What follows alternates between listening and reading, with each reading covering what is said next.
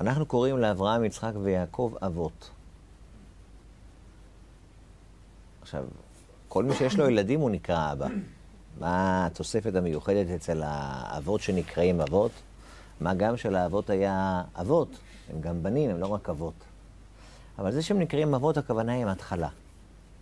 זה הכוונה. כן? האבא זה ההתחלה של המשפחה. האבא ויש את הילדים.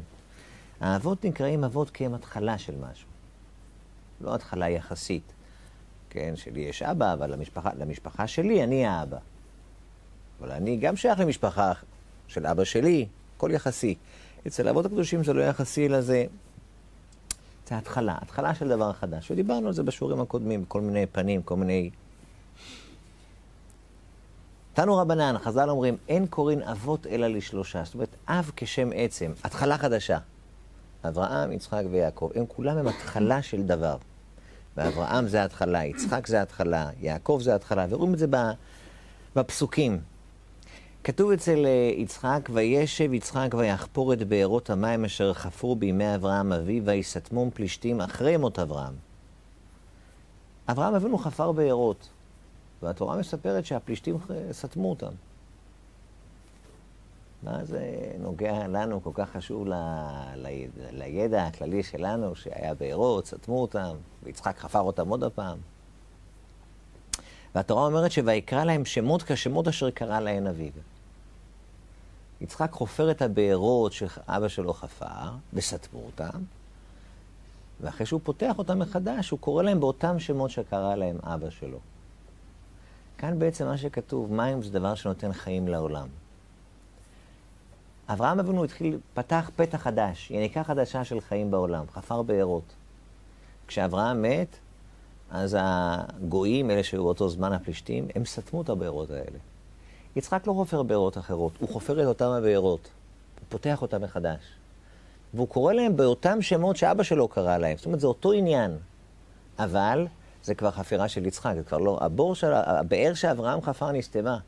זה באר חדשה. אברהם... יצחק זה כמו התחלה חדשה. יעקב אבינו, אנחנו גם מוצאים שיש לו עסק עם באר. אבל הבאר של יעקב אבינו זה באר מסוג אחר. התורה מספרת לנו, וירא והנה באר בשדה, ואבן גדולה על פי הבאר. ויש שם את העדרים, מחכים לגלול את האבן. אומר להם, יעקב, למה אתם אה, נמצאים פה? לכו תראו. אין עוד, אין עוד היום גדול. אז אמרו לנו, אנחנו מחכים שיאספו עוד אנשים לגלול את ה... לפתוח את הבאר, לגלול את האבן הכבדה. ויהי כאשר ראה יעקב את רחל בת לבן אחי אמו, ואת צאן לבן אחי אמו, ויגש יעקב ויגל את האבן מעל פי הבאר. יעקב אבינו גם פותח באר. הוא גם פותח באר. אבל הבאר שיעקב פותח, זה לא באר שהיא סתומה. זה לא שיש בה עפר, אין בה עפר. זה באר עם מים, יש סתימה מעל. והתורה מציינת את זה, וזה מאוד חשוב לדעת משהו כאן. אבל הסוד הוא, כמו שחז"ל אומרים, אמר, רב, אמר רבי אבר כהנא, עד שלושה דורות לא פסקה זוהמה מהאבות הקדושים. אברהם אבינו זה באר שמוציאה חיים. אברהם הוליד את יצחק, אבל לאברהם יש גם בן לא טוב, את ישמעאל. יש עפר בבאר שלו. יצחק, הוא גם מביא חיים לעולם, מביא את יעקב אבינו. אבל ליצחק יש בן לא כל טוב, זה עשיו. יש עפר בבאר שלו. ואילו אצל יעקב אבינו מיתתו שלמה. כל הילדים טובים, הבאר בלי עפר. הוא רק צריך לגלות אותה. לגלות אותה, להביא אותה לעולם. הבאר חסומה, יש אבן על פי הבאר. זה קצת נותן טעם, כל הפרשה הזאת של הבארות שרואים אצל כל האבות, התעסקו עם בארות. כשקוראים את זה בתורה לא כל כך מבינים מה הסיפור פה, מה רוצים להגיד לנו. אבל זה מה שבאים פה להגיד. יש פה התחלות, התחלות חדשות, נתינת חיים לעולם. האבות הקדושים נקראים ראשית. אבל כמו שיש ראשית, התחלה, התחלה. בצד של האבות הקדושים, יש גם התחלה בצד השני. וזה אנחנו מוצאים אצל עמלק. ראשית גויים עמלק ואחריתו עדי עובד. עמלק זה הבן של אליפז, הנכד של עשיו. כן, כשמסתכלים אצל המקובלים, אז הם לוקחים את כל הצד הזה של עשיו, כל הקליפה הגדולה הזאת שנקראת עשיו, ראש קומת עשיו זה עמלק. ובלעם הרשע, כשהוא מנבא על כל מה שיהיה, אז הוא אומר, ראשית גויים עמלק. יש ראשית לעם ישראל, אברהם, יצחק ויעקב. ויש ראשית גם בצד השני, זה עמלק. עמלק זה בעצם זה עשיו. ופה יש לנו התחלה למול התחלה, יעקב למול עשיו. וצריך להבין מה זה שתי ההתחלות האלה. ושתי ההתחלות האלה זה בעצם מה שזה אנחנו צריכים להיות, ומה שבעצם העולם מציג לנו, שזה לא צריך להיות ככה, וזה מתנגד אלינו, וזו העבודה היומיומית של כל אחד מאיתנו. ומי שמבין את זה, אז הוא מבין הרבה דברים ביומיום שלו, מה הוא צריך לעשות, איך להסתכל נכון על דברים. אנחנו מוצאים שראשית גויים עמלק, ראשית זה ראש. ראש. אנחנו מוצאים דבר מאוד מעניין שכתוב בפרקי דרב לזר, שכאשר אה, הביאו את אה, יעקב לקבורה, רצו לקבור אותו, אז יוסף וכל האחים שלו עלו ממצרים, ביחד עם השרים המצרים, הביאו את יעקב למערת המכפלה. והגיע עשיו, התחיל לערער, אמר, מה פתאום לקבור את יעקב? מערת המכפלה זה שלי. הוא אומר, הרי יצחק אבינו, יש לו שני בנים. ומערת המכפלה זה מערה של זוגות. יש שם את אדם הראשון וחווה, שרה, אברהם ושרה, יצחק ורבקה. עכשיו נשאר עוד זוג אחד. הוא אומר, שם כבר יעקב, יש שני בנים, אז אחד של יעקב, אחד שלי. יעקב כבר השתמש בחלק שלו, הוא קבר שם את לאה. אז הקבר השני שלי. אז אמרו לו, אבל אתה מכרת את זה ליעקב. כשיעקב הגיע לארץ ישראל ועשו הגיע אליו, כתוב שיעקב נתן לו המון המון כסף, אז רק ערימה גדולה של כסף. אמר לעשו, זה תמורת חלקך במערה. ועשו מכר לו את זה. ואז אמרו האחים, ואתה מכרת? אז הוא אמר, מה פתאום לא מכרתי שום דבר? אז יוסף אמר, טוב, צריכים להביא את השטר מכירה, זה נמצא במצרים. אמרו לנפתלי, נפתלי היה לה שלוחה, הוא אומר, תביא את זה ממצרים. זה עיכב את הקבורה. חושים בן דן, דן, אחד מהשבטים, היה לו בן, בן אחד סך הכל, חושים. הוא היה גם חירש וגם אילם. לא ידע לדבר ולא ידע, לא ידע לשמוע. אבל הוא ראה שהעסק מתעכב, הכל תקוע. אמר, מה קורה פה? אז אמרו לו, הצביעו לו, בסימני ידיים, על האיש ההוא, לא נותן לגבור. אז הוא אמר, הדבר הזה, הוא לא ידע מי זה, מה זה, איך זה, כמה זה. חוצפה נוראה. אז כתוב שהוא לקח את החרב שלו, והוא הגיע לעשו וכרת לו את הראש. כתוב שהראש התגלגל ונכנס לתוך המערה. ואת הגוף שלו הלכו וקברו בהר שעיר. עשו בעצם מפוצל לשתיים. הראש שלו קבור במערת המכפלה. ומי שהיה במערת המכפלה, אז יש כזה גם מצבה כזאת שם. כאן קבור ראשו של עשו. הראש של עשו קבור ביחד עם האבות הקדושים. אדם וחווה, אברהם ושרה, רבקה ויצחק, יעקב ולאה, והראש של עשו. הראש במערת המכפלה. עכשיו, אתם מבינים לבד שזה לא שנאבד שם הראש. אם השאירו את זה שם ולא שלחו את זה ביחד עם החבילה של הגוף להר שעיר, זאת אומרת, יש עניין שהראש יהיה שם. ראשית גויים, ההתחלה זה עשיו, אבל הראשית, הראש שלהם קבור מערת המכפלה. מרגישים פה שיש משהו. הדברים הם לא סתם. אם הראש של עשיו קבור במערת המכפלה, זה אומר שהראש של עשיו שייך לדבר הזה שנקרא אבות. אתם מתארים לעצמכם. אברהם, יצחק ויעקב, והראש של עשיו. הראש של עשיו שייך לעניין הזה. מה זה הדבר הזה? הדבר הזה תמוה מאוד. יעקב ועשיו, ועשיו הוא, כשהוא נולד, אז הוא נולד שעיר. והעצה הראשון אדמוני כולו כהדרת שיער. בדרך כלל תינוק נולד בלי הרבה שערות. כן? לא עם זקן, לא... עשיו נולד כבר עשוי, כבר הכל היה מוכן, כמו אדם מבוגר. ויקראו את שמו עשיו, כולם קראו לו עשיו, מה זאת אומרת עשיו? עשוי, הוא כבר מוכן כבר, מוכן לחיים. ואחרי כן יצא אחי וידו אוחזת בעקב עשיו, ויקרא את שמו, פה כתוב ויקרא, לא ויקראו. ויקראו זה כל מי שראה אמר, בואנה, זה הילד הזה נולד כבר עשוי, מוכן לחיים. כבר זקן, הכל כבר יש. הכל כולל הכל. אבל השני נולד זה כבר לא קראו, אלא ויקרא. וזה רש"י מביא שתי דעות, או שאברהם, או שיצחק, אבא קרא לו ככה, או שרוח הקודש אמרה לקרוא לו יעקב, ככה או ככה. יעקב. וחזר, אנחנו מוצאים כשיעקב בא לקבל את הברכות מאבא יצחק, נכנס במרמה, אז יצחק הוא מדבר איתו, יצחק הוא עיוור, הוא לא רואה. אבל אמנם הוא לא רואה בעיניים, אבל הוא רואה דברים רוחניים, זה כן, הוא נביא גדול, אדם קדוש, יצחק. אז יצחק הוא רואה, אבל לא בעיניים. עכשיו, מה שלא מסתדר לו עם הדמות שעומדת מולו, הוא רואה דברים רוחניים גבוהים מאוד אצל הדמות הזאת. הוא אומר לו, קשנה אליי, הוא שקע לבני, וימושהו. ואז הוא אומר, הכל כל יעקב, והידיים ידי עשיו. אומר, אני רואה פה, אני שומע פה את הקול של יעקב, זה לא הכוונה הסאונד, כן? קול באוזניים. זה הרבה יותר עמוק מזה. הוא אומר, אני שומע פה דיבורים של יעקב. ומצד שני, אני רואה פה ידיים ידי עשיו. אז זה לא תיאור, כן, שמיעתי ותחושתי, מה הוא ראה פה, אלא זה עמוק הרבה יותר. חז"ל אומרים, שתי ירושות הנחיל יצחק לשני בניו. הנחיל ליעקב הקול. לעם ישראל קיבלנו את המעלה שנקראת קול. הקול קול יעקב. וכן הוא אומר, הקול קול יעקב. מי שחושב שרק עשיו היה גיבור גדול ויעקב, לא, קראנו מקודם, מה שהרועים לא הצליחו לגלול את האבן מעל פי הבאר, יעקב הצליח במכה אחת לעשות את זה. הוא היה גם גיבור. אבל המעלה שלו זה לא, לא הידיים, המעלה שלו זה הקול. הקול, קול יעקב. הידיים, ידי עשיו. וכן הוא אומר, הקול קול יעקב, והנחיל לעשו הידיים, שנאמר והידיים ידי עשיו. זאת אומרת, כאן יצחק בעצם מתאר את העניין שנקרא יעקב, שזה קול, ואת העניין שנקרא עשיו, זה נקרא ידיים. ידיים וקול. כן, כשאמרנו שהוא נקרא עשיו על שם העשייה, עושים, פועלים הרי עם הידיים. זה המעלה של עשיו, הוא עשוי, עושה עם הידיים. ועשיו היה מתגאה ברושתו, שנאמר, ויאמר אליו אדום לא תעבור מפן בחרב אצא לקראתך. כשעם ישראל הגיעו, אמרו, אנחנו, סבא בירך אותנו על חברך תחיה, אנחנו עובדים עם הידיים. הוא מתגאה במעלה הזאת שלו. ויעקב מתגאה ברושתו, שנאמר, ונצעק אל השם אלוקי אבותינו. אז אם אנחנו רואים יהודים היום שמתגאים עם הידיים שלהם, זה לא שפה של יהודים, זה שפה של עשיו. פן בחרב אצא לקראתך זה עשיו מתגאה בירושתו. אנחנו, זה לא, זה לא המקצוע שלנו. לפעמים צריך לעשות את זה. גם יעקב נלחם. לפעמים צריך לעשות את זה. אבל לא מתגאים בזה.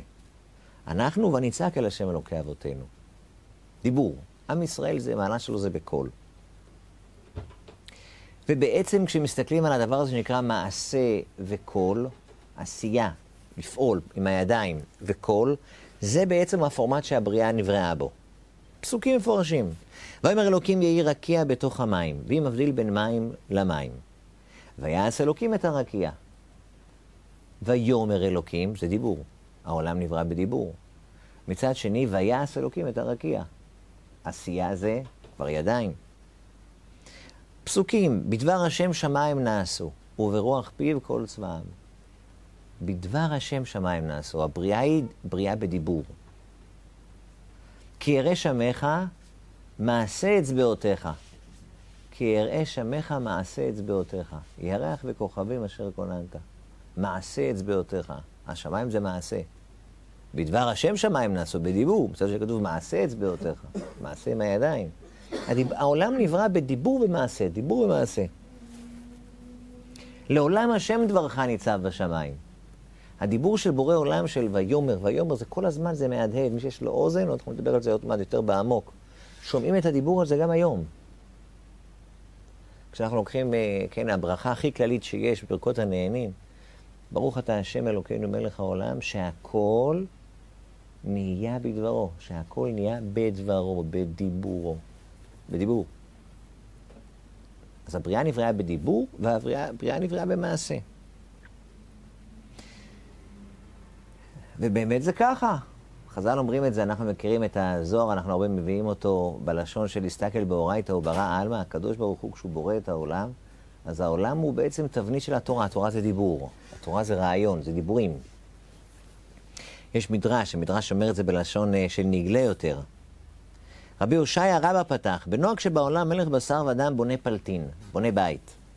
אינו בונה אותה מדעת עצמו. זה לא שהוא עומד והוא ככה מהראש, הוא אומר, תעשו ככה, תעשו ככה, זה לא...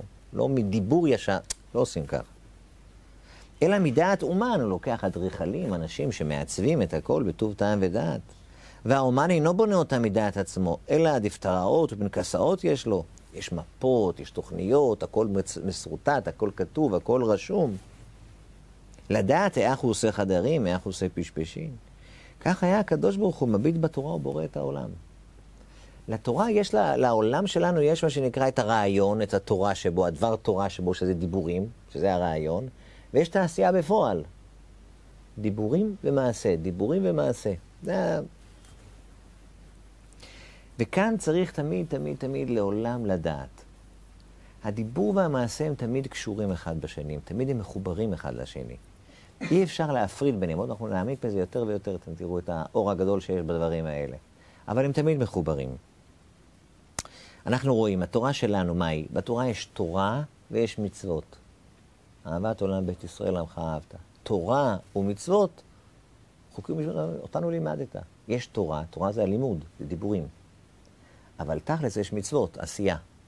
גם התפקיד של יהודי בעולם זה מתחלק לשתיים. יש את החלק של הדברי תורה, ויש את ה... בפועל לקיים מצוות. המצוות הן לא בפה, המצוות הן בידיים. עושים את זה, עושים את זה, עושים את זה. דיבור ומעשה. זו הצורה השלמה של, ה... של הקיום.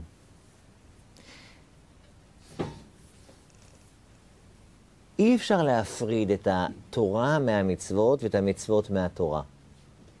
הם תמיד הולכים ביחד. בתורה כתוב, ויאמר אליהם, שמע ישראל את החוקים ואת המשפטים אשר אנוכי דובר באוזניכם היום. ולמדתם אותם ושמרתם לעשותם. ללמוד ולעשות. ועל זה אומרת הגמרא, אמר רב פאפא, כל שישנו בעשייה, ישנו בלמידה. כל שאינו בעשייה, אינו בלמידה. זה לא שייך שיש כאלה אנשים, הם לא לומדים. תחשבו על בן אדם ש... רב פאפא מזהיר אותנו, הוא אומר, מי שישנו בזה, ישנו בזה. אם אתה גם לומד, אתה גם עושה. אתה עושה, אתה גם לומד. אי אפשר לפצל. אם אדם למשל יגיד, למה צריכים לשמור שבת בפועל? בואו נלמד את הנושא של שבת. נפנים את הרעיון של שבת, את הסודות של התורה, עבודה עצמית כזו, רוחנית, בתוך עצמנו, נקבל על עצמנו את האור של השבת. למה צריך גם לשמור אותה בפועל? אם אתה יגיד, למה צריך להניח תפילין על היד ועל הראש? בוא נלמד כל סודות התפילין, מה התפילין אומר, הקדושה של התפילין. בלי להניח את זה. אי אפשר לנתק בין השניים. כל שישנו בזה, ישנו בזה. כל שישנו בזה, ישנו בזה. אי אפשר להפריד. אמר רבי שמעון בר יוחאי, הלמד לעשות. ללמוד זה ללמוד וללמד, ללמוד וללמד, לשמור ולעשות. זה תמיד הולך ביחד. הלמד שלא לעשות, מי שלומד, לא בשביל לקיים. העיקר הרעיון, ללמוד, לתפוס את החוכמה שבדבר, את היופי שביהדות. נוח לו אילו לא נברא. מי שרק רוצה לדעת את הרעיון ולהתבשם מהרעיון, הוא אומר, עבודה פנימית, לא צריך בחוץ. מה, בורא עולם צריך שאני אבנה סוכה? אני אפנים את הרעיון של הסוכה, את המוסר שיש בסוכה, את האידיאלים הנשגבים של הסוכה. כבר לא צריך לבנות סוכה, מה, אלוקים צריך קרשים? אה, לא צריך. זה נותן משהו לאלוקים שאני יושב בתוך סוכה? הרי העניין שאני אספוג את הרעיון. אי אפשר לנתק. אומר רשב"י, מי שעובד בכזאת צורה, נוח לו אילו לא נברא. חבל שנברא האיש הזה. אמר רבי יוחנן, הלומד שלא לעשות, נוח לו אילו נהפכה שולייתו על פניו ולא יצא לעולם. השלייה שלו, כביכול היה חבל שלא מת בלידה. זאת אומרת, הוא לא נכנס לעולם נכון. הוא לא מבין את העולם. לנו לפעמים זה מאוד מאוד נוח לחלק בין השניים, בין העולם הרוחני הפנימי שלי, לבין בפועל איך אני מתנהג. אי אפשר לפצל אותם. אי אפשר לפצל. מה הרעיון שבזה? העולם נברא בדיבור. ויאמר אלוקים, ויאמר אלוקים, ויאמר אלוקים. אלוקים בורא את הבריאה בדיבור. בפועל יש מעשים. יש עולם. עולם פיזי. הרעיון בזה שהעולם נברא בדיבור ויש בפועל עשייה, זה שהיום כשאני רואה את העשייה, אז אני שומע את הדיבור. כשאני רואה שמש, מה השמש צריכה ללמד אותי? מה היא באה לומר לי? היא באה לומר לי, כשאני רואה את השמש זה, ויאמר אלוקים יהי מאורות ברכי השמיים להעיר. כשאני רואה שמש, אני אמור לשמוע את הדיבור של השמש. מה השמש מדברת? היא עושה את מה שאמרו לה. אז אם אני רואה את מה היא עושה, אני מבין מה אמרו לה. על ידי זה אני מתחבר לבראשית, ברא אלוקים את השמיים ואת הארץ. כשאני רואה שמש, אני לא רואה תופעה מדעית מעניינת. אני רואה כי אראה מעשיך, כן, אדם רואה את המעשים שברו, ירח וכוכבים אשר. אני מתפעל, שאו מרום עיניכם וראו מי ברא אלה. כשאני רואה עולם, אני בעצם שומע את הבראשית, ברא אלוקים את השמיים ואת הארץ. דיבור ומעשה, דיבור ומעשה. המעשה בעצם הוא קושר את הדיבור לד... אם אני אקח קוף, ואני אאמן אותו להניח תפילין. ממש. זה ייקח קצת זמן, אבל אני אצליח. הוא ישים תפילין על היד ועל הראש, אפילו יכוון את זה, גם יסתכל במראה לראות שזה באמצע. כל הכבוד, כל ההידורים. זה נקרא בלשון הגמרא מעשה קוף בעלמא. זה מעשה שהוא מנותק מכל תפיסה פנימית, כי לקוף אין את היכולת להבין מה עושים עם זה. הוא לא רואה את ה"והיו לטוטפות בין עיניך". קשרתם לאות על ידיך והיו לטוטפות בין עיניך, קוף לא מסוגל להבין את הדיבורים האלה. הוא לא יכול לראות את הציווי האלוקי שיש בדבר הזה. אין לו את עבודת השם, את המעשה יכול להיות שיש לו, אבל אין לו מעבר לזה שום דבר ועניין. כלום, אפס. בורא עולם, כשהוא בורא עולם, הוא שם אותנו בתוך העולם שאנחנו צריכים לעשות כל הזמן דברים. אבל לא את הדברים כדברים מנותקים, אלא כדברים שהם אומרים משהו. כשזה אומר משהו, זה אומר שאני שומע בכל זה שאמר ויהי, בכל זה שציווה ויעמוד. בדבר השם שמיים נעשו, ברוח פיו כל צבאם. אז כשאני רואה שמיים וארץ, אני רואה את המעשה כבר, את המעשה אצבעותיך. אני רואה כבר את המעשים הבפועל, אני רואה שמיים. אבל אני שומע את הבדבר השם שמיים נעשו. אני חי בתוך עולם של בראשית ברא אלוקים את השמיים ואת הארץ. כל מקום שאני הולך, כל דבר שאני רואה, אני חי בעולם של אלוקים. לא בעולם שמנותק מאלוקים. לא בעולם שמנותק. הראשון שתפס את הדבר הזה, זה היה אברהם אבינו. אברהם אבינו הסתובב בעולם, היה ילד. הרמב"ם מספר, היה ילד. אבא שלו גידל אותו לעבוד עבודה זרה. אבא שלו היה יצרן של עבודה זרה. היה לו חנות לעבוד אזורס, הוא ישב ומכר שם. אברהם אבינו אשתו אמר, מה זה יכול להיות שאני... לא יסתדר לו הדבר הזה. אמר רבי יצחק, משל לאחד שהיה עובר ממקום למקום וראה בירה אחת דולקת. בירה, הכוונה היא בית גדול ויפה, ארמון. כמו שאומרים, כשלמדנו את מגילת אסתר, אתם זוכרים, אמרנו שושן הבירה. אז זה לא הבירה, כמו שאומרים, בירת המדינה, אלא שושן הבירה הייתה את העיר שושן, והעיר שושן צהלה ושמחה. היה את העיר שושן. אבל היה את ה... בעיר שושן היה מקום איפה שהמלך גר, הארמון של המלך. זה היה שושן הבירה. אז יש שושן הבירה, ובמגילה, תראו, זה כל פעם זה מדויק. יש את העיר שושן, ויש את אזור המלך, זה נקרא הארמון. שושן הבירה. אומר רבי יצחק, משל לאדם שהלך ב- ביער, במדבר, לא הולך באיזה מקום, פתאום הוא רואה איזה ארמון גדול, דולק, כל האורות דלוקים, הכל שם פעיל. אמר, תאמר שהבירה הזו בלא מנהיג, בית כל כך יפה, עם אורות דולקים, הכל מוכן, פעיל. אמר, מה יכול להיות שזה לא שייך לאף אחד? מיד הציץ עליו בעל הבירה. אמר לו, אני הוא בעל הבירה. אני, לא, לא, לא, זה לא של אף אחד, זה שלי. אני הבעל הארמון. אברהם אבינו מסתובב בעולם, כל העולם כולו רואה את מה שאברהם רואה. כן, זה קצת מחבר אותנו לשיר הקודם. כולם רואים את מה שאברהם רואה. אבל אברהם מחפש מה אני רואה, את המעשה ידיים אני רואה, אבל מי עשה את זה? הוא אמר ויהי, איפה, מי, מי זה האומר? מי זה הבעל הבית פה? נכון, בנו כאן ארמון, אבל מי זה? מי, מי, למי הוא שייך? מה, יכול להיות שהארמון הזה לא שייך לאף אחד? הוא אומר, אני רואה עולם.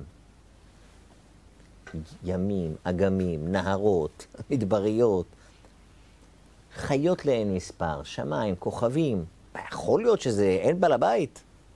לכל, ב, לכל דירה יש בעל הבית. אין דירה שהגיעה, נפלה מהשמיים. לכל דבר יש בעל הבית. מי הבעל הבית של כל זה? הוא מחפש לקשור את המעשה לדיבור. מה זה אומר, הוא שואל. אני רואה את כל זה, מישהו שם לי את זה מול העיניים. למה? הוא מדבר אליי. רק אברהם לא גידלו אותו, הוא לא ידע מי זה. הוא חיפש מי זה. מיד הציץ עליו בעל הבירה. כך, לפי שהיה אברהם אבינו אומר, תאמר שהעולם הזה בלא מנהיג. הוא ראה את מה שכולם רואים, אנחנו גם מסתובבים בעולם. אנחנו רואים, רואים מה שכולם רואים. ההבדל זה להסתובב בעולם, כולם רואים אותו דבר. השאלה אם כולם מבינים מה אומר מה שרואים. כשאדם מסתכל, כן. לראות בורא לעולם אפשר לראות מנמלה. אפשר לראות, איך אומרים, מביצי קינים ועד קרני ראמים. מי שלומד היסטוריה רואה בורא לעולם. מי שקורא עיתונים רואה בורא לעולם, לא צריך לפתוח ספרי קודש, בעיתון. רק להבין, כן, הוא עוקב מה קורה בעולם. דברים מסתדרים. בדיוק דיברתי היום עם אברך יקר. אז אמרתי לו, תשמע, אני כבר, הזיכרון שלי כבר, מאז שאני עומד על דעתי, זה כבר למעלה מ-30 שנה. בסקטור שאני מייצג, ההכנסות רק יורדות. ההכנסות יורדות. והגזרות רק יותר קשות. יותר ויותר, קיצוץ פה, קיצוץ פה, קיצוץ פה, קיצוץ פה, הכל פה. וכל פעם כשיש דבר כזה, אז אתה אומר, מה, מה לומדי התורה יעשו? מה לומדי התורה יעשו? ואני שואל, בשלושים וכמה שנים שאני חי, יש פחות חדורים? יש פחות ישיבות? פחות אנשים קונים דירות?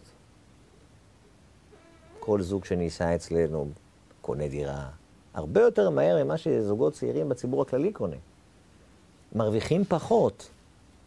לא רק באופן יחסי לעליית המדד, באופן מוחלט, זה יורד. הכל יורד. רק מה? רואים בורא לעולם, רואים השגחה פרטית נפלאה, השגחה פרטית נפלאה, שזה לא משנה מה, מה יש מסביב, העגלה נוסעת. דורות על גבי דורות.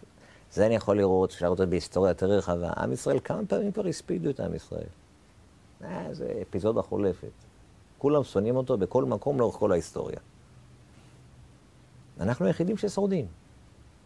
משהו לא הגיוני. מה, רואים בורא לעולם. מי שמתבונן, כולם רואים את זה. מה, רק אני רואה את זה? אני עכשיו אומר לכם את זה. כל אחד רואה את זה. אז יש אחד אומר, מקרה. מקרה. אה, זה יותר מדי הרבה מקרים. יש הרי מסקנה שמתחייבת מכל כך הרבה מקרים. אם אני מגיע לפה ומחכה לי פה כוס מים, יכול להיות במקרה מישהו שתה, רצה מקודם לשתות והשאיר את זה פה. סביר להניח שהכוס מים הזו, מישהו הכין אותה. נכון? הכינו אותה. אולי זה מקרה, אבל צריך להיות אידיוט בשביל לחשוב שזה מקרה. אתם יודעים מה? יכול להיות מקרה, אבל אם זה קורה כל שבוע, כדור הארץ מסתובב בקצב אחיד כבר במשך אלפי שנה שזה מדיד. באותו קצב בדיוק. כבר אלפי שנה מחפשים את המנוע שמסובב אותו, ואיך הוא לא מתקלקל אף פעם. עוד לא מצאו. כל החפצים בצורה מופלאה, זורקים אותם, הם נופלים לארץ, ובמשך כל המדידות, מגלילאו גלילי, זה אותו דבר בדיוק נופל. איפה המנוע שמושך? עוד לא מצאו אותו. אז מה אמרו? לא, זה כוח המשיכה. כוח המשיכה. מה זה כוח המשיכה? ראו תופעה, קראו לה שם, ואז כולנו יגידו, אה, זה זה. אבל כן, אבל מה זה? אין אף אדם שיודע מה זה. איך זה לא מתקלקל אף פעם? איך זה לא משתנה אף פעם? מה, לא רואים בורא? מה צריך להיות גאון בשביל לראות בורא? והדבר המעניין ביותר, תראו את זה עוד מעט, שדווקא במקומות הכי במרכאות, משכילים, הכי חכמים, אומרים זה לא בורא, זה לבד. אבל שום דבר לא יכול להיות לבד. אברהם אבינו מסתובב בעולם, הוא שואל שאלה, ש... הוא ילד. הוא אומר, זה יותר מדי יפה בשביל להיות לבד. זה יותר מדי מושלם בשביל להיות לבד. מי שרואה תמונה יפה, יכול להיות שילד בן שנה צייר את זה? אתה אומר, לא הגיוני. ילד בן שנה, איך יצייר את זה? אני לא יודע, במקרה יצא לו. הוא לא יודע לצייר, הוא לא יכול לצייר דבר כזה, אבל במקרה יצא לו, הוא שם את ה... משך את המכחול בדיוק בצורה הנכונה, במקרה. במקרה זה יכול להיות. אבל צריך להיות אידיוט מושלם בשביל לחשוב שזה באמת זה הסיבה. לא, היה פה צייר, היה פה צייר. ואולי לא. זה לא רציני. את זה אברהם שואל. אברהם הוא מחבר, הבריאה הוגשה לנו. האדם הגיע האחרון לבריאה. הוא לא היה, כש... הוא לא היה בעולם כשהיה את ה"ויאמר אלוקים", "ויאמר אלוקים". לא היה, הוא לא היה עדיין. האדם זה האחרון שנברא. אנחנו בכלל בנים צאצאים של, לא היינו כשזה היה. אז איך אנחנו נדע שזה היה? פשוט תסתכל. שאו מרום עיניכם, וראו מי ברא אלה. מי ואלה זה אותיות אלוקים. תקיפו בעל הכוחות כולם. יש בורא לעולם, משגיח, מנהל, הכל. הכל, הכל, הכל. לא צריך להיות חכם גדול, זה, זה א' ב'. כשרואים מכונית, יש מהנדס, יש מתכנן. בשביל זה יפה המכונית, יש מעצב. זה לא במקרה. זה לא, לא, לא יכול להיות. את זה אברהם שואל. זאת אומרת, הוא מחבר, הוא רואה את המעשה, הוא מחבר אותו לדיבור, זה הולך ביחד. תורה ומצוות, העשייה שלנו בעולם היא גם תמיד מתחלקת לדיבור, לרעיון ולמעשה. אי אפשר לחלק אותם ביחד. זה פה, זה פה, רק תעשה, לא משנה מה אומר. זה מעשה קוף בעלמא. אנחנו עושים כל דבר, מצוות צריכות כוונה, כל דבר לכוון. אצל הספרדים מנהג יפה, מכוונים, אומרים לשם, ייחוד, קודשה ברכו. אני עושה את זה לשם, מאחדים. הבעיה שמתרגלים גם להגיד את זה, הספרדים, על זה כבר לא חושבים. אבל צריך לחשוב, אדם עושה מצווה, מכוון לדבר, לעשות, לעשות, כל דבר. עשייה מחוברת למחשבה. לעתיד לבוא מה שישתנה כשיבוא המשיח, מה יקרה כשיבוא המשיח? ונגלה כבוד השם וראו כל בשר יחדיו כפי השם דיבר. היום אתה רואה, אתה אמור להסיק את המסקנה, אם יש נברא, יש בורא. לעתיד לבוא מה שיקרה, מה שישתנה זה מלא הארץ דעה את השם כמים להם מכסים. כל הבלבולים, כל הבלבולי שכל שהיום המדע, המדע יודע לנפק לנו, המדע לא מבלבל את המוח ממש, אני אגיד לך למה אני מתכוון. ברוך אתה אדינו אלוהים מלך העולם שהכל נהיה בדורי. פעם נראה לי סיפרתי לכם את זה. הרב שך בא ואמר שפעם היה בעיירה רחוקה, במזרח הרחוק של רוסיה, היה שם...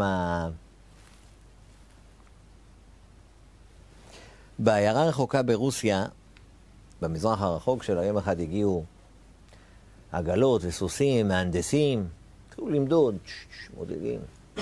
שאלו הכפריים, מה... פוסט טוצחדו, מה זה? מה אתם עושים?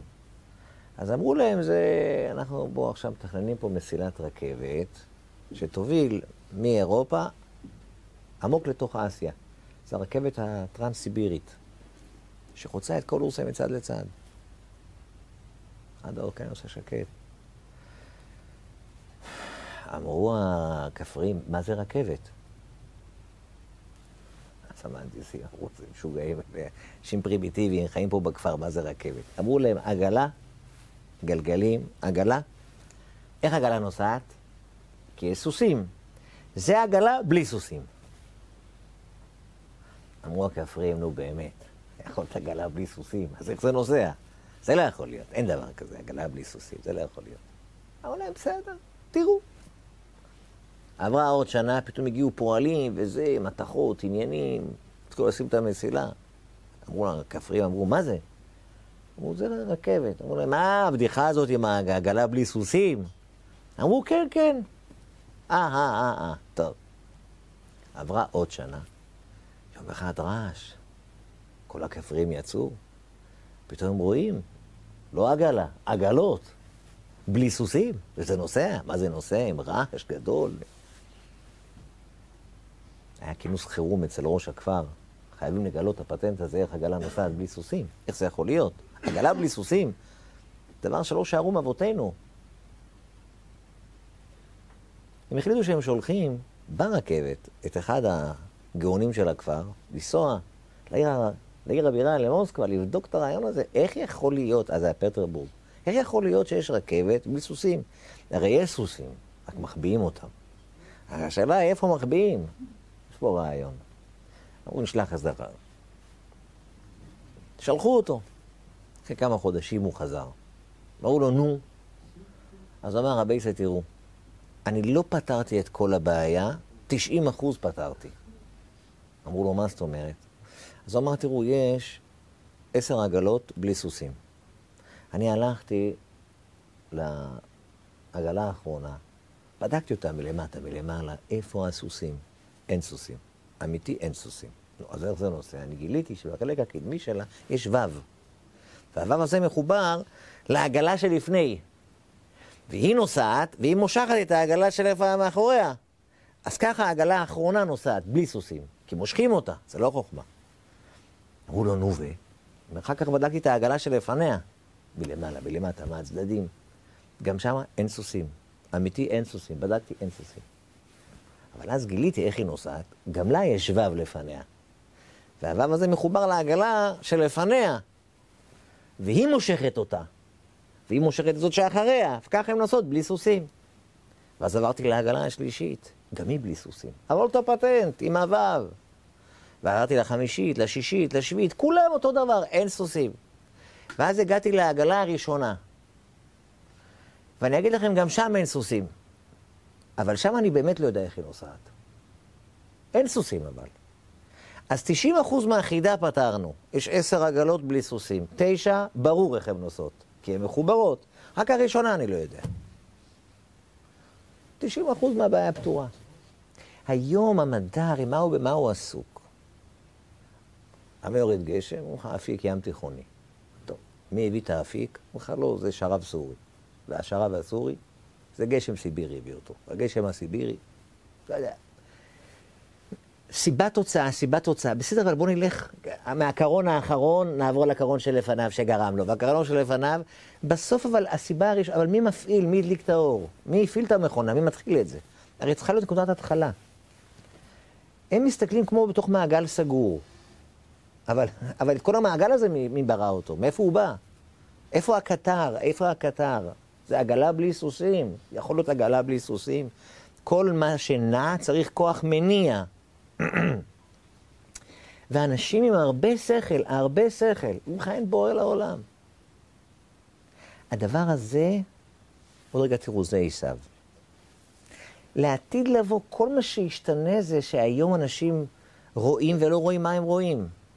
לעתיד לבוא פשוט יתגלה הדיבור, ישמעו את הדיבור.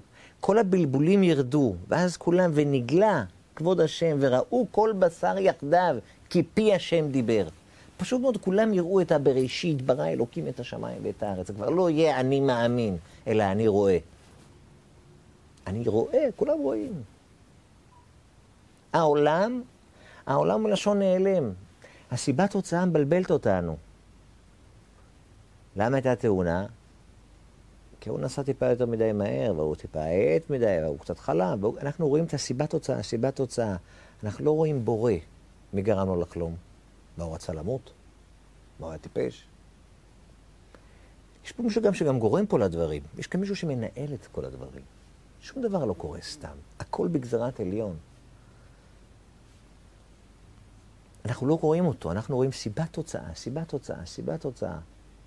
מי שמסתכל על ציבור של לומדי התורה לדורות, לא רק בדור שלנו, דורות, אז הוא רואה שאין אין, אין סיבה אחרת שיכולה להחזיק אותם בעולם, חוץ מזה שבורא עולם מקיים אותם. באופן פלאי, פלאי ממש. העגלה נוסעת, העגלה נוסעת. הגמרא אומרת, הנח להם לישראל. יש לפעמים רואים את עם ישראל נוהגים איזה מנהג, יש עדה, יש לה איזה מנהג, והרבה שואלים, למה הם נוהגים ככה, למה זה? יש כזה כלל בגמרא, הנח להם לישראל. עזוב, עזוב. אם לא נביאים הם, בני נביאים הם. מה הכוונה? מה זה נבואה? נבואה זה שהיה פעם, היה נביאים בעם ישראל, שממש שמעו את דבר השם.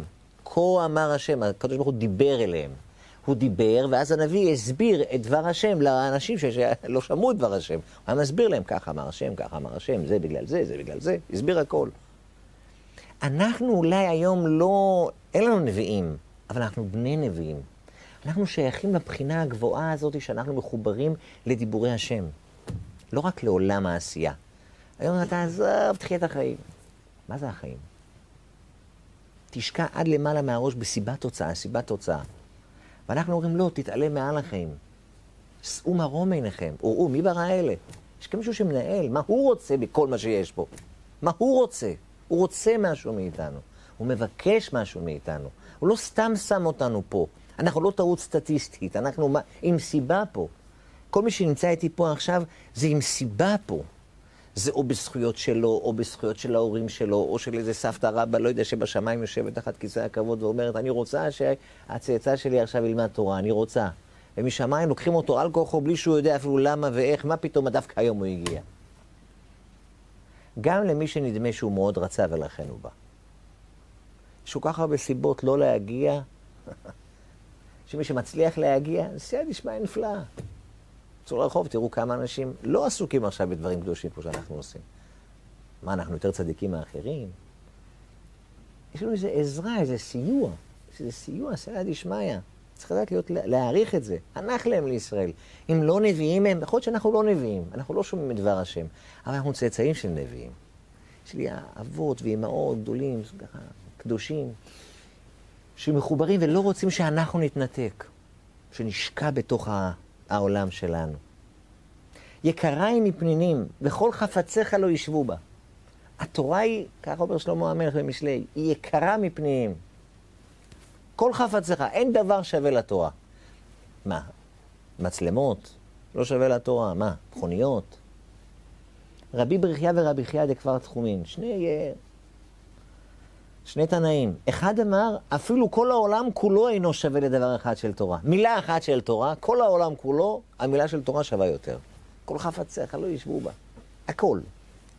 אחד אמר, אפילו כל מצוותיה של תורה אינן שוות לדבר אחד מן התורה. כל התרי"ג מצוות, כל התרי"ג מצוות. אדם יושב ולומד תורה. מילה אחת של תורה. כנגד זה, תרי"ג מצוות, לא רק שלו, של כל עם ישראל, לא רק בדור הזה, עד אדם הראשון כולל. אני שם על המשקל את כל המצוות, המצוות של אברהם, של יצחק, של יעקב, כל המצוות שהיה, אבותינו הקדושים, רבי עקיבא עשה מצוות, כל הייחודים, כל הכוונות, האריזה, הכל. בכף אחת כל המצוות. ומילה אחת תורה של מישהו משלנו. מילה אחת תורה שווה יותר. יקרה היא מפנינים, כל חפציך לא ישבו בה. מילה אחת של תורה. תורה שווה יותר. מה העדיפות של תורה על מצוות? כי המצוות זה עשייה, קל מאוד לעשות, אבל להתנתק מהבורא. עושה ושולה, הולך לענייניו. התורה, אתה כל הזמן אתה מדבר את דבר השם, אתה קשור אליו. למה זה ככה? ככה השם רצה. אנחנו כל הזמן עסוקים מחוברים אליו. תורה זה לדבר את דבר השם. זה הפלא, הדבר הגדול שקיבלנו בתורה. אנחנו כל הזמן עסוקים בדבר השם. כי הוא אמר ויהי. האמר יותר חשוב מהיהי. כי זה בעצם מתחבר, מישהו רק ביהי, רק בעשייה, הוא מאבד את הקשר לבורא עולם. וזה לא סתם שאנשים שעסוקים כל היום במצוות ואנשים שלומדים תורה, אלה שלומדים תורה הם יותר רוחניים, יותר קרובים לבורא עולם. כי הם בשורש, הם בתורה, נכון, יש תורה ומצוות, והם הולכים תמיד ביחד, אפשר לנתק. אבל איפה הבכורה, איפה הדבר החשוב? התורה. כל חפציך לא ישבו בה. מילה אחת של תורה זה כנגד כל המצוות כולם. כל המצוות כולם, אפשר להעריך את זה. מילה אחת של תורה. זה יותר קרוב אל הבורא, זה המצווה, אתה שומע את דבר השם ועושה. דבר השם ועושה. עושה בלי דבר השם, לא טוב. תורה שווה יותר. מצד שני, מה קורה בן אדם יושב ולומד תורה? ופתאום יש כאן אדם ברחוב שהוא זקוק לעזרה. מישהו פה נפל בחוץ. צועק, הצילו, לא יכול לקום, כואב לי הרגל. אני לומד תורה עכשיו. תורה יותר מכל המצוות. שיישאר לשכב. שבורא להם ישלח מלאך להציל אותו. אני לומד תורה עכשיו, זה הכי חשוב. לסגור את הספר, לך תעזור לו. בתנאי שאין מישהו אחר. אם מישהו אחר שלא לומד עכשיו נמצא פה, אתה אומר לו, תשמע, לך תעזור לו, אני לומד עכשיו. לך תעזור לו. אין מי שילך, אומר, לא רוצה לעזור לו. אין מי, ההוא שוכב על הרצפה. סגור את הספר, לך תעזור לו. אבל תורה שווה יותר. אז היום האנשים אומרים לך, לא נורא, אז תלמד אחר כך. תורה זה נקרא מצווה עוברת. מה זאת אומרת? מה זה תלמד אחר כך? עכשיו אני לומד תורה, נגיד חמש דקות האלה. אם אני לא, לא אלמד את החמש דקות האלה, החמש דקות האלה אבודות. אי אפשר ללמוד אחר כך במקום. צריכים את החמש דקות האלה, ואת החמש דקות של אחר כך. החמש דקות האלה, אם אני לא לומד, הלכה המצווה. אני יותר לעולם לא יוכל ללמוד בחמש דקות האלה, כי הם לא יחזרו יותר. אז יש לי פה תורה, שאם אני לא אלמד עכשיו, אז את הזמן הזה אני לא כבר אנצל אותו לתורה, אני עזרתי למישהו במקום. זה אבוד. והתורה היא יותר חשובה מכל המצוות, אז למה ההלכה אומרת, סגור את הספר, לך תעזור? כי מי שרק לומד וזה לא מחובר לעשייה, ראינו את זה מקודם. רשב"י אומר, חבל שנברא. רבי יוחנן אומר, חבל שהוא לומד כשהוא נולד. אתה לומד וזה לא יורד לעשייה? כל העניין של הלימוד זה ללמוד ולעשות. ללמוד וללמד, לשמור ולעשות. אם זה רק ללמוד, ללמוד, ללמוד, ללמוד, וזה לא מתחבר לעשייה בסוף, אז זה כלום שווה כלום. זה יותר גרוע מלא, יותר גרוע מלא ללמוד. מה עדיף, ללמוד ולא לקיים, או לא ללמוד בכלל? ללמוד ולא לקיים. יותר גרוע. כי אתה לוקח את דבר השם ואתה מעוות אותו, לוקח אותו לא... זה נאמר בשביל שתעשה. אז אתה עכשיו לומד תורה, יש מצווה. לימוד תורה הוא יותר חשוב מהמצווה, אבל כל הלימוד תורה זה בשביל לעשות. אם אתה לא עושה, אז למה אתה לומד? אז אם מישהו אחר יכול לעשות, אז לא צריך אותך, שב תלמד, זה יותר חשוב. תלמד, זה יותר חשוב. אבל אם אתה לומד ולא הולך לעשות, אז זה הכי גרוע שיכול להיות.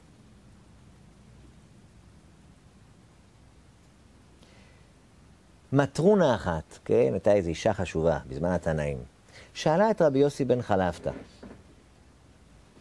למה יצא עשיו תחילה? עשיו הרי יש לו תלונות. יעקב אבינו צריך את הבכורה לקנות ממנו. ויבוא עשיו מן השדה והוא עייף. ואז את יעקב נזיד, ויבוא עשיו מן השדה והוא עייף. ויאמר עשיו אל יעקב, אל עיתני נא מן האדום האדום הזה, כי עייף אנוכי. על כן קרא שמו אדום. ואז יעקב אומר לעשו, מכרה כיום את בכורתך לי, וימכור בכורתו ליעקב. ולא תמכור לי את הבכורה, אתן לך לאכול. למה הוא צריך לקנות את הבכורה? כי עשו הבכור. רק שנייה, למי צריכה לבוא הבכורה? ליעקב או לעשו? מי מתאים לעבודה? יעקב. אז למה, שאלה המטרונה, אני לא מבין את בורא עולם, למה הוא ברא את עשו בכור? היה מולי את יעקב ראשון, נגמרה הסיפור. היה הראשון, וזהו. היה חוסך. הברכות. יצחק רוצה לברך את עשו. רבקה יודעת, ולאום מלאום יאמץ, ורב יעבור צעיר, אז היא אומרת ליעקב, תיכנס, עליי כלילתך בני, אל תפחד, אז זה, ככה צריך להיות, ככה צריך... למה לסרבל? למה לסבך? היה צריך להיות שמההתחלה, שיעקב יוולד ראשון, והוא יקבל את הברכות, והוא יקבל את הבכורה, ולעשו לא יהיה תלונות, ולא יהיה זה, ולא ירצה להרוג אותו, הכל היה נפתר, חלק. ככה שאלה מטרונה את רבי יוסי בן חלף, זו שאלה טובה.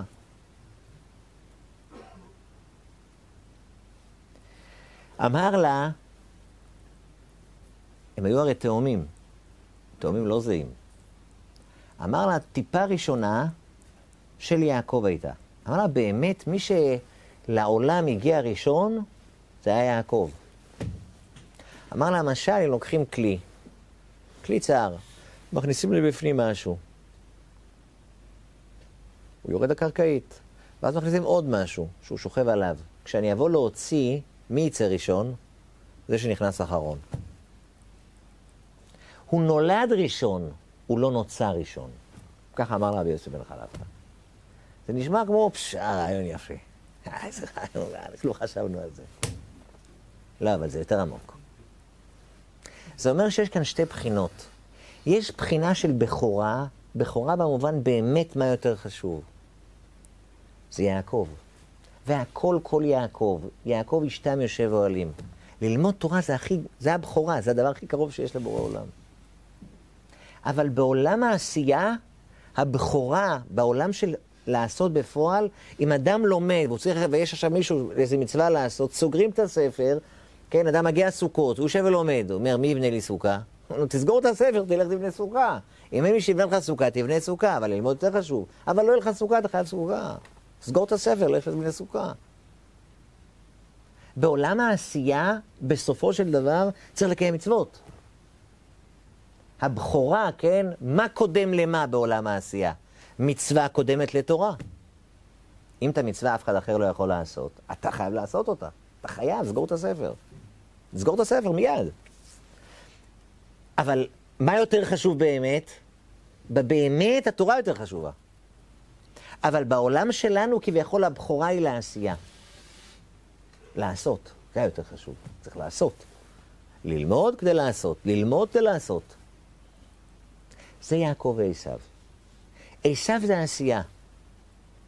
יצחק אבינו, כשהוא רוצה לתת את הברכות לעשיו, במה הוא טועה? במה הוא טועה? יצחק רואה את עשיו כמו שעשיו צריך להיות. יצחק הרי עיוור. הוא לא רואה, העיניים שלו כהות, לא רואה. הוא רואה דרך הנשמה שלו. הוא רואה את העולם כמו שהעולם צריך להיות. יעקב ועשיו זה בעצם שתי הבחינות האלה. יש פה אדם אחד שהוא לומד תורה, והוא אומר לשני מה לעשות, והשני עושה, ועל ידי זה, הצירוף של שניהם ביחד, זה השלמות של עם ישראל. כוח הלימוד וכוח העשייה. כוח הלימוד וכוח העשייה. יש אחד שהוא יושב אוהלים, כל הזמן יושב ולומד תורה. ויש את השני שמשלים אותו, הוא כוח העשייה של הראשון. אתם זוכרים שעשו, הראש שלו נמצא במערת המכפלה. הוא אב, הוא המשלים של יעקב. רק מה שעשה עשו, הוא ניתק את הראש מהגוף. הוא עשה ניתוח לא מוצלח. הוא ניתק את הראש מהגוף. הגוף שפועל, מה עושה בפועל? הידיים, הידיים, הרגליים. עשו לקח את הגוף למקום אחר. אז הגוף שלו בפח, בהר שעיר. הראש, בראש, בראש הוא אב. הוא המשלים. בעצם מה שרבקה אומרת, כן, זו הייתה הנבואה של אה, שם ועבר. יצחק רואה את עשו כמו שעשו צריך להיות. הוא הכוח העשייה של יעקב, ביחד הם שלם. זה תאומים. אחד איש שדה ואחד יושב אוהלים. ביחד זה העולם השלם. רש"י מביא, בברכה של, אה, בנבואה של שם ועבר, ויאמר אלוקים לרבקה, כן, לא יודעת מה קורה, ויתרוצצו הבנים בקרבה, ותאמר אם כן למה זה אנוכי, ותלך לדרוש את השם. ויאמר השם לה, שני גויים בבטנך, ושני לאומים ממעייך ייפרדו, ולאום מלאום יאמץ ורב יעבוד צעיר. שני גויים בבטנך, שני חשובים, אומר רש"י על המקום, מי זה שני האלה? זה רבי ואנטונינוס. היה פעם אחת בהיסטוריה שיעקב ועשו היו באמת ביחד. זה היה קיסר רומי אנטונינוס שהוא התבטל בפני רבי יהודה הנשיא. התבטל בפניו. היה פעם אחת שהיה שני גויים בבטנך, שני חשובים. זה כוח הדיבור וזה כוח העשייה. רבי ואנטונינוס, קיסר רומי ורבי יהודה הנשיא. אבל שני לאומים ממאייך ייפרדו. עשיו כעשיו לא ירצה לעשות מה שהוא צריך לעשות. הוא ינתק את הראש מהגוף. הוא ייקח את כוח העשייה, עוד מעט נראה אותו מנותק מבורא עולם. הוא לא יחיה את העולם ובכל דבר הוא יראה, שאו מרום עיניכם וראו מי ברא אלה. אלא ההפך, הוא ינתק את זה. הוא יחיה את החיים. כשאנחנו מדברים עם אנשים שלא לא, לא חיים את ה... לא זכו לאור של התורה, מה הם אומרים לנו? צריך לבלבל את המוח, חיה את החיים. תעבור, תעשה משהו עם עצמך. תעשה משהו עם עצמך. תעשה, תעשה. חיים את החיים. כן, אבל למה? נו, אני אעשה ו... ולך כסף. נו, וכסף. ו... ו... חומר, חומר, חומר, מנותק, מנותק. אני רוצה משהו יותר מזה, משהו להתחבר גבוה יותר. לחיות חיים של לחיות עם בורא עולם זה הרבה יותר נעים. אנשים חושבים שמי ששומר מצוות, אז בעולם הזה, זה, עולם הזה אין לו, יש לו עולם הבא. טעות, עולם הזה יש לו. גם עולם הבא. עולם הזה יש לו. חי את החיים. חי, חי, חי. מי שלא, עם של עבדים.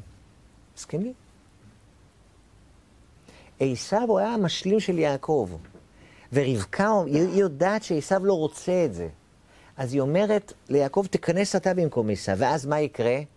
חלק הידיים של עשו עובר ליעקב עצמו, ואז ביעקב יש כמו יששכר וזבולון. או אם תרצו, שבט לוי ועם ישראל, שבט הכהנים. יששכר וזבולון, מי נולד קודם? אז מי שיסתכל בתורה, הפרשיות הבאות, אז יראה שיששכר נולד לפני זבולון. יששכר זה הבן החמישי של לאה, זבולון זה הבן השישי. זאת אומרת, הלומד תורה הגיע לפני התומך תורה. ההיגיון אומר, אם אין קמח, אין תורה. אבל ההמשך של המשנה זה, ואם אין תורה, אין קמח. מה יותר חשוב? האם אין תורה, אין קמח. יששכר נולד לפני זבולון. הלומד תורה הוליד את התומך תורה, לא התומך תורה הוליד את הלומד תורה. יששכר נולד לפני זבולון. מצד שני, בברכה של יעקב, כשהוא מברך אותיו, שמח זבולון בצאתך, ויששכר באוהליך. אה, זה לא פייר, יששכר הוא יותר גדול. היה צריך קודם כל לברך את יששכר, ואחרי זה את זבולון. שמח זבולון בצאתך ויששכר באוהליך. משבחים קודם את התומך תורה, את זה שמחזיק את יששכר. למה? בעולם העשייה זה הבכור, גם עשיו בעולם העשייה הוא הבכור. גם עשיו בעולם העשייה זה הבכור. לאה הייתה צריכה להוליד את זבולון, לא את יששכר. יששכר הוא היה בן של, היה צריך להיות של רחל. במעשה הדודאים, זה חז"ל מפורש. היא נתנה לה את דודאי, אמרה לה בדודאי, תני לי את הדודאים של ראובן, תני לי, סגולה ללידה. אמרה לה לאה, מעט קחתך את אישי ולקחת גם את דודאי בני. אמרה לה לאה, אז אמרה לה רחל, אז קחי את יעקב. הלילה הוא שלי, הוא יהיה שלך. באותו לילה היה צריך להיוולד יששכר. שבט לומדי התורה היה אצל, היה אצל רחל, היא נתנה אותו ללאה. תשאלו איך היא עשה דבר כזה? היא ידעה מה היא עושה. לאה הייתה צריכה להוליד רק את זבולון, לא את יששכר. למה לאה צריכה את זבולון ולא את יששכר? כי לאה הייתה צריכה להיות אשתו של מי? רחל הייתה יפת תואר ויפת מראה, ולאה עיניה רכות. למה עיניה רכות? אתה בוגר להם בוכה, בוכה. למה, למה את בוכה? מה, מה את בוכה? מה קרה?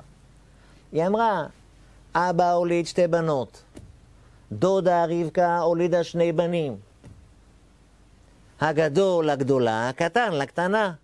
עשיו הגדול ללאה הגדולה, רח... יעקב הקטן לרחל הקטנה. אז היא בכתה, היא הייתה צריכה להיות של עשיו. היא צריכה להיות של עשיו, של כוח העשייה. את מה היא צריכה להוליד? את זבולון, זה מה שהיא מולידה, לא את יששכר. יששכר זה של יעקב, יעקב זה רחל. רחל הייתה צריכה להוליד את יששכר. יששכר וזבולון זה בעצם שניים שנמצאים עכשיו, כן, לאה לא הייתה אמורה להיות של יעקב. זו הייתה הרי הרמאות, יעקב לא רצה אותה, הוא אמר, היא לא שלי, רחל שלי. אני, אני אעבוד אותך ברחל, בתך הקטנה, לא מישהי, לא לאה. לבן הכניס לו אותה. לאה באמת הייתה צריכה להיות של עשיו. של איזה עשיו? של עשיו האמיתי. של העשיו שהוא בעצם מה שהיום זבולון. זבולון הוא בתוך עם ישראל. עשיו נשאר בחוץ.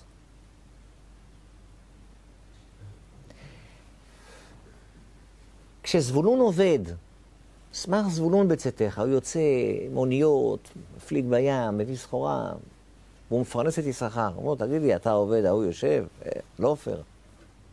מה איתכם? הוא מזכה אותי, אני לא מזכה אותו, בזכותו אני. יששכר מחבר את זבולון לדבר השם. יששכר, זבולון עמוק בעולם הזה, אבל כל מעשה שהוא עושה זה עם קדושה עילאית. הוא מחובר לדבר השם. חפץ חיים אמר פעם, שני אנשים פותחים מכולת. אחד, על כל תנועה שהוא עושה בכל ששת ימי המעשה במכולת, יקבל עולם הבא. השני לא. שניהם ביושר, שניהם לא מרמים, שניהם מוכרים במחירים הגונים, אותו דבר עושים. מה ההבדל? אומר אחד עובד, פתח מכולת, למה? בא לחיות. בסדר, לגיטימי. השני, הוא אומר, יש לי אישה, יש לי ילדים, מי יפרנס אותם? לא יכולים לעבוד לבד. זה מצווה לפרנס אותם. המצווה הזו עליי. אז הוא קם בבוקר לפרנס את הילדים שלו ואת אשתו. מצווה גדולה, שמח אותם. לקנות להם אוכל, לקנות להם בגדים, שמח אותם. הוא אומר בכלל, פה באזור אין מכולת קרובה. כל האנשים כדי לקנות חלב צריך ללכת, לא יודע, קילומטר. אני פותח להם חנות ליד הבית, שמח אותם, שיהיה להם קרוב.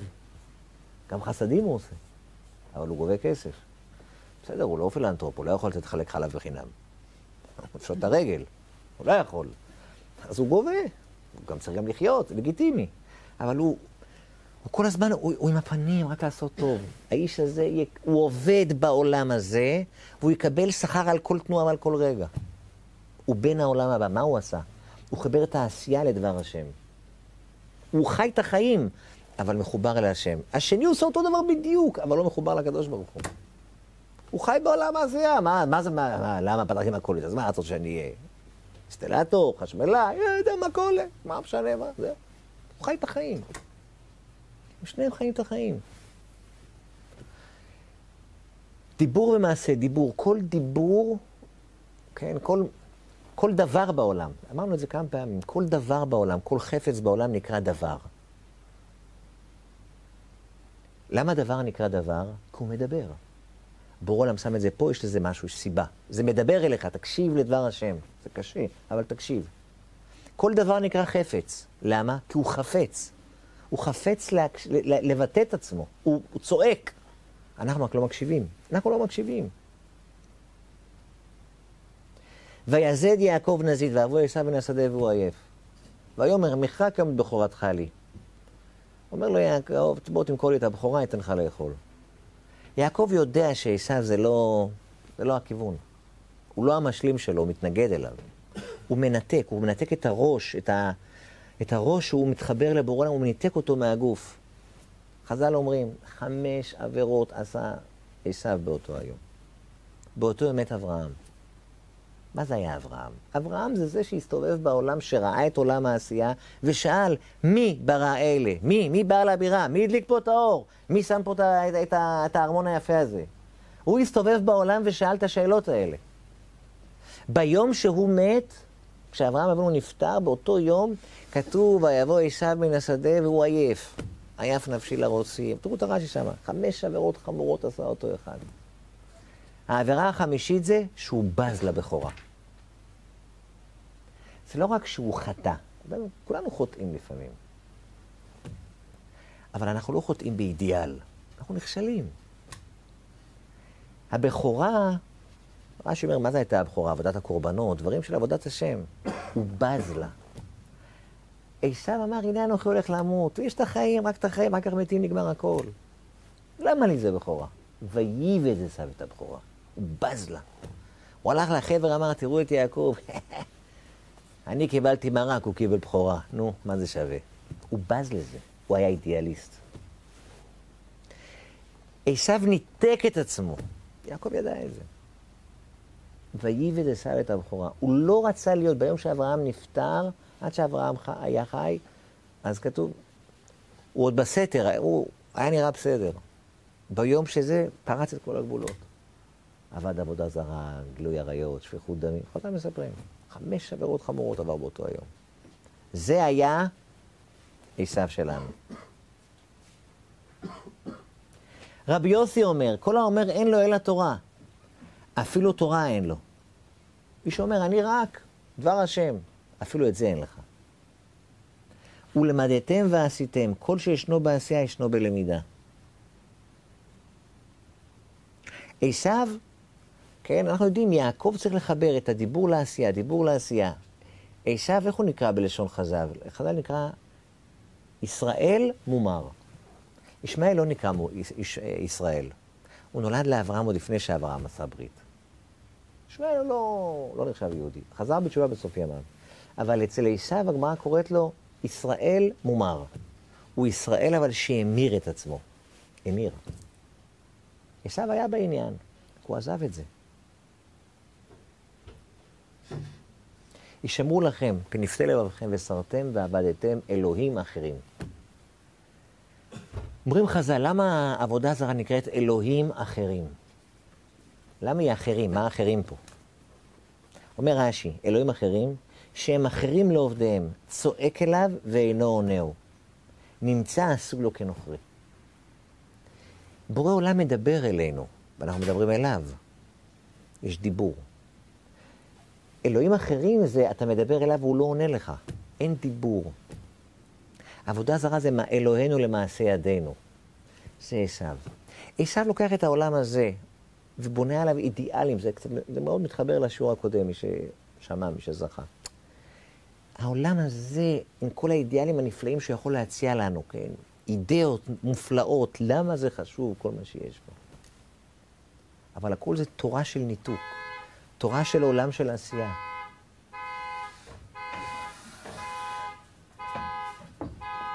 תורה שמנתקת, לא תורה שמחברת.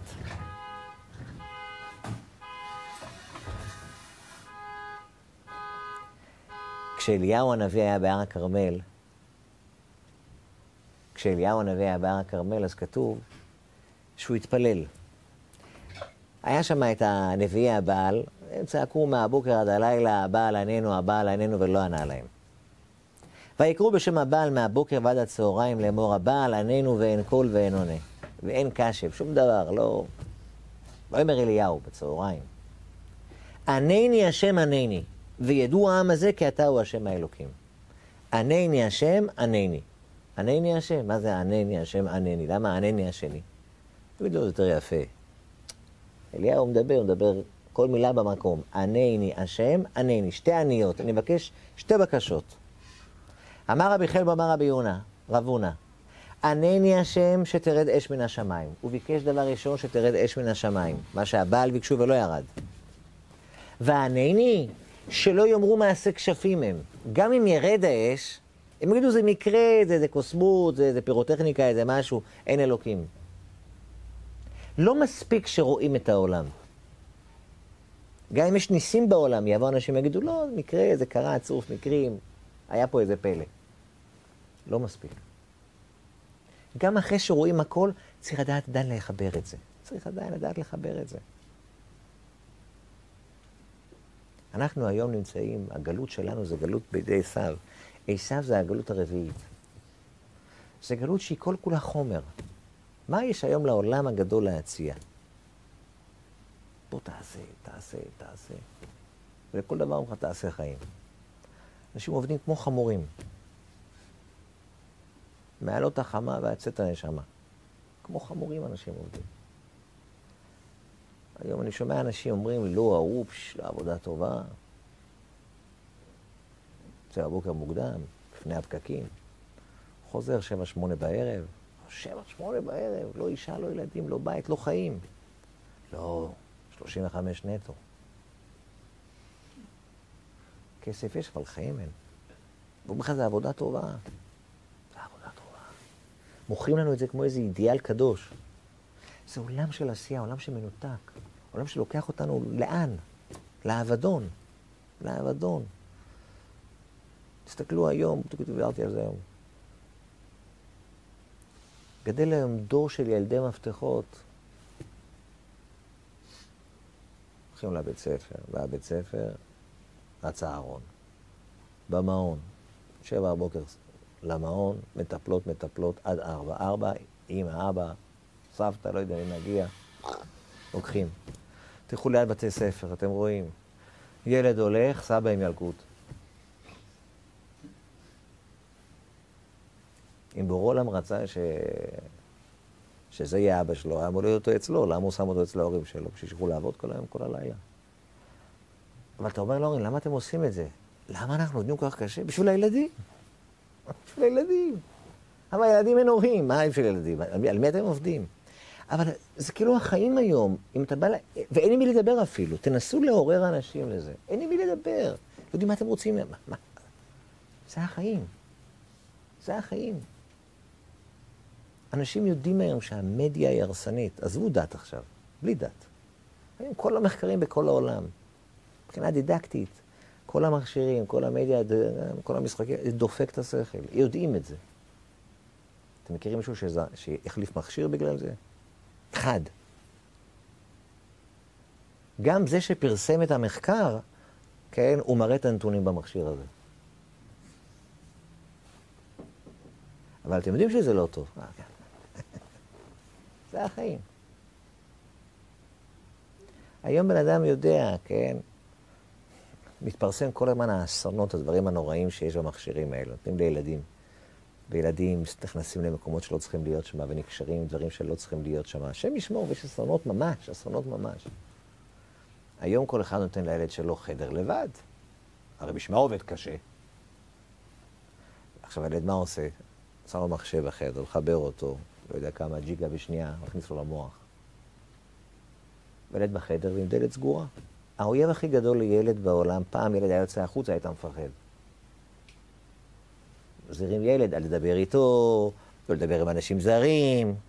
היום את האנשים הזרים הכניסו אלינו הביתה. בי, אנחנו, מכניסים אותם הביתה. לא אני ברוך השם, כן, אבל... מכניסים, היום אנשים מכניסים את האנשים הזרים אליהם הביתה. לחדר עם הילד, והילד נועל את החדר, הוא לבד בחדר. עם ההורים בכלל בבית. עכשיו, כולם יודעים שזה הרסני. אין מי שלא חושב שלא. אני זוכר לפני אולי 15 שנה, עשינו דינר בהרצליה, לא משנה, שם איזה משהו, הגיע הרב הראשי שאז היה, הרב ישראל מאיר לאו. אז אני אומר, אני זוכר שהוא אמר שעשו מחקר בארצות הברית. אם לוקחים תינוק, בן, בן יומו, מעמידים אותו בעגלה מול טלוויזיה. מדליקים את הטלוויזיה. בגיל שנתיים או שלוש או חמש, אני כבר לא זוכר את הנתונים בדיוק. בודקים מה הוא ראה. אז הוא אמר, מאות אלפי מקרי אלימות מכל מין וסוג. מתוך זה עשרות אלפי מקרי אלימות קשה, אכזריות ממש. לילד שיש לו שעות צפייה, בכמה שנים בודדות. כולם יודעים את זה. כולם יודעים את זה. אז איך שמים ילד מול זה? זה לא חינוכי. כי הם חיינו, באורך ימינו, ובהם נהגי יומם ולילה. אמרו לי אנשים שאצלם זה עובד 24-7. אבל זה לא מפריע לך לישון? הוא אומר, ההפך, אני מתעורר, אני רואה קצת, אני יודע עוד פעם. וער עיניך רואות את מוריך. אנשים יודעים שזה לא טוב, יודעים שזה לא טוב. עזבו דת, לא קשור לדת עכשיו, זה להיות בן אדם. עכשיו, את התוצאות רואים. בכל צומת, בכל כביש, בכל זה, רואים את התוצאות. אתם מרגישים שיש עולם שהוא מנותק לגמרי? עולם של חומר וחומר וחומר, ומוכרים לנו רק חומר, שום ערך, רק חומר. וה... זאת אומרת, לקחו את החומר והפכו אותו לערך. זה משהו פה נורא. זה הגלות הרביעית, זה מה שאנחנו חיים היום.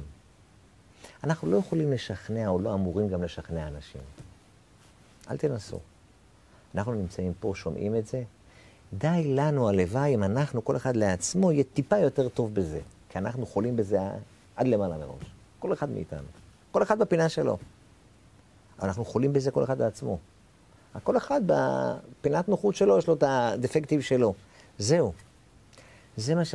זוכרים שבוע שעבר אמרנו, אלה ברכב, אלה בסוסים. רכב זה עיסר.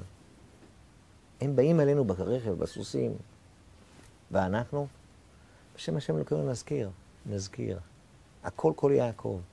כל זמן, כן, קרא לכם חז"ל.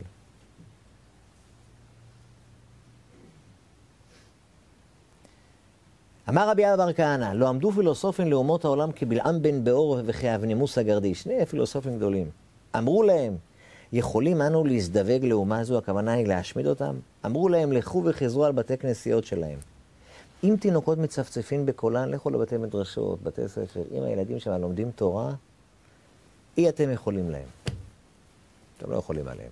אם הכל כל יעקב, אתם לא יכולים. ואם לאו, אם כל התורה מתמעט, אם הכל כל יעקב, זאת אומרת, האפשרות שלנו להתחבר לבורא עולם, להתחבר אליו, אי אפשר עלינו. אם אנחנו לא מתחברים אליו, אם הקול של התורה מתמעט, אתם יכולים להם. שכן הבטיחם אביהם ואמר להם, הכל קול יעקב הידיים ידי עשיו. כל זמן של קוליו של יעקב בבתי כנסיות ובתי מדרשות, אין הידיים ידי עשיו. אבל אם אנחנו, עם ישראל, יודעים לחבר קול לידיים, אז מתקיים בנו. ואומר יעקב אל אביו, אנוכי עשיו בכורך. יעקב נכנס. אמר לו, אתה זה בני... אמר לו, אנוכי עשיו בכורך. יעקב באמת בעומק הוא הבכור. התורה יותר גבוהה. אמרנו, הטיפה הראשונה הייתה של יעקב, התורה יותר גבוהה מעולם המעשה. בעולם הזה יש בכורה למעשה. מבטלים תורה בשביל לקיים מצוות. אבל אי אפשר תורה בלי מצוות, אי אפשר, אי אפשר מצוות בלי תורה, צריכות ביחד. ויש כאלה בעם ישראל שיש להם קצת תורה והרבה מצוות, ויש כאלה שיש להם הרבה מצוות, וקצת תורה. ויש כאלה שיותר עובדים, ויש כאלה שיותר לומדים, ואלה תומכים באלה, אלה יששכר ואלה הזבולון. וככה עם ישראל בסוד של אחד, כולם מחזיקים את כולם. כי הידיים ידי עשיו והכל כל יעקב נמצא אצלנו.